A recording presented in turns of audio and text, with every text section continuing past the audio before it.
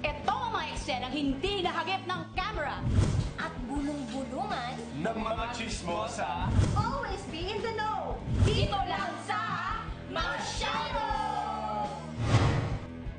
Si ito ay female TV celebrity na inalis daw sa show niya dahil minsan tinanggihan ang invitation ng isang kasamahan sa programa. Nako, si Mars Suzy ang gaganap bilang female, bida ka Mars, female TV personality. Sorry. Si Pars Ervic ang gaganap bilang male host at kami ni Pars Jabe ang gaganap bilang other co-host. Okay.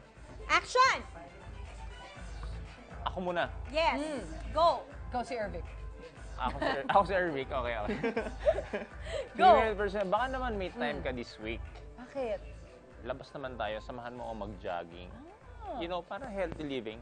Um, sige, sige. Che-check ko muna kung kakayanin ng schedule ko, ah. Dali, ah. Guys, niyaya na naman ako ni Milhouse na mag-jogging daw kami. Samahan niyo naman ako.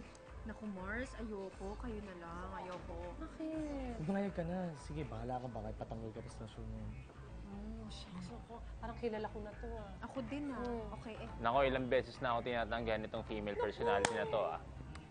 Huwag niyo na nga siya papasukin bukas. Tanggalin! Oh! Yan na sinasabi ko eh. Natanggal na tuloy. Sino si ako. female personality na nawala sa show niya after tumangging mag-jogging? Parang crush ko to ah.